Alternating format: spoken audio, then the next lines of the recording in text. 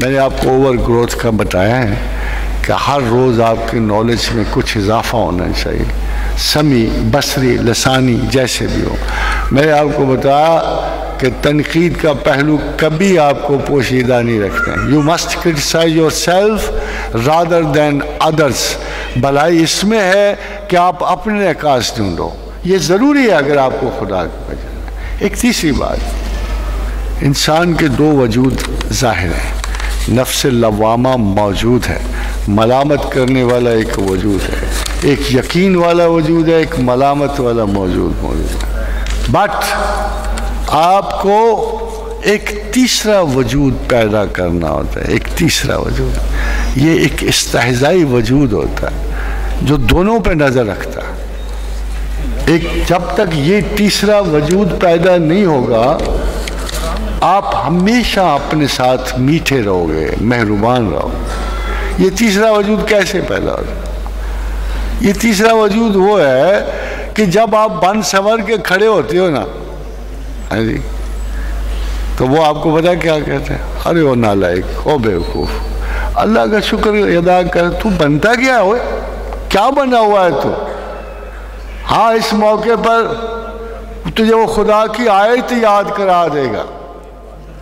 क्या हज़रत इंसान तो बड़े गरूर और वजाहत की जगह बैठता है? तो उस जरसूमे पर भी तो नज़र रखना जो माँ के पेट में रखा गया था। एक हौलनाक सूरत वाला, तेल वाला बद शक्ल बद सूरत दो करोड़ सेल से निकलते हुए दस हज़ार सेल आगे जाते हैं। उनमें से एक इंतहाई वाहियात, बदशक्ल जरसूमा जो है, ये बतन मादर पे और रहम मादर में रखा जाता है। अगर बहुत हसीन समझते हो ना, आवाज़ आती है उसे स्थायी सर की बुरा ना मनाना, कभी बड़ा करके ना को दो चार महीने लॉन्च करके उस जरसूमे को भी देख लेना।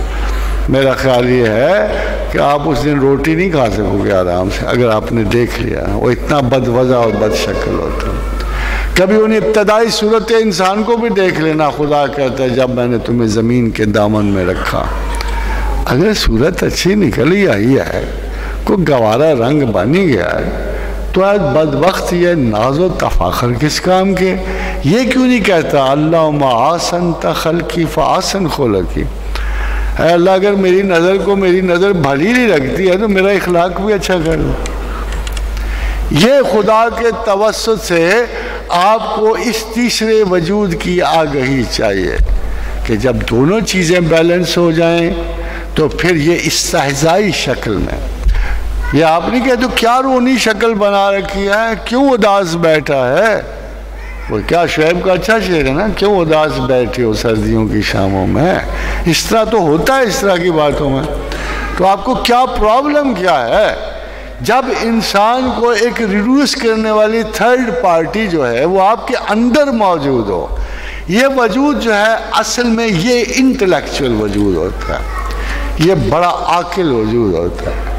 ये आपकी बुराइयों को भी समेटता है और आपकी अच्छाइयों में भी तरफ़ नहीं पैदा होने देता अच्छाई करना इंसान का काम है, उसका बड़ा फेल नहीं है। बुराई करना उसकी खसलतों में से है। ये प्रिशियबल नहीं है। ये तीसरा वजूद आपको बताता है कि आपको कहाँ नाज रवा है, कहाँ नहीं है। कहाँ इफ्तार हो सकता है, कहाँ नहीं हो सकता।